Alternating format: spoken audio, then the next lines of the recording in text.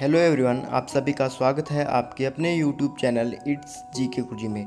दोस्तों, अगर आप railway, SSC, Punjab state exam, इसके अलावा मास्टर केडर, ईटीटी केडर के एग्ज़ाम की तैयारी कर रहे हैं तो आप हमारे चैनल को सब्सक्राइब करें और पास लगे बेल आइकन को भी ज़रूर दबाएँ, ताकि आपको हमारी हर एक नई वीडियो की नोटिफिकेशन टाइम से मिलती रहे। इसके अलावा आपको हमारे चैनल के ऊपर हर एक एग्ज़ाम के लेटेस्ट अपडेट नोटिफिकेशन भी मिलती रहेंगी।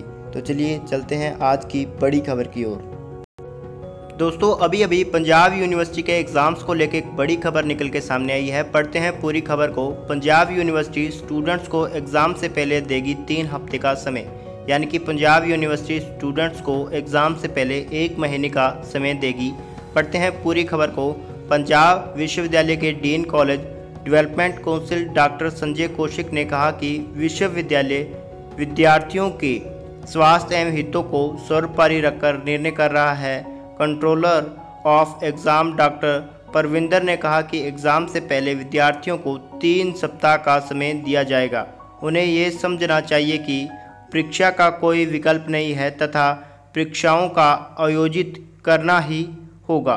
परीक्षाओं के बिना डिग्री प्रदान करना किसी भी प्रकार न्याय संगत नहीं है। तो दोस्तों, ये थी पंजाब यूनिवर्सिटी से रिलेटेड आज की बड़ी खबर।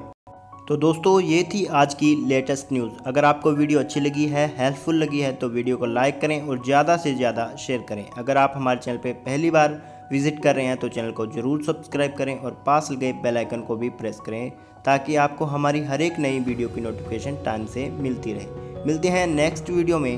तब तक के लिए टेक केयर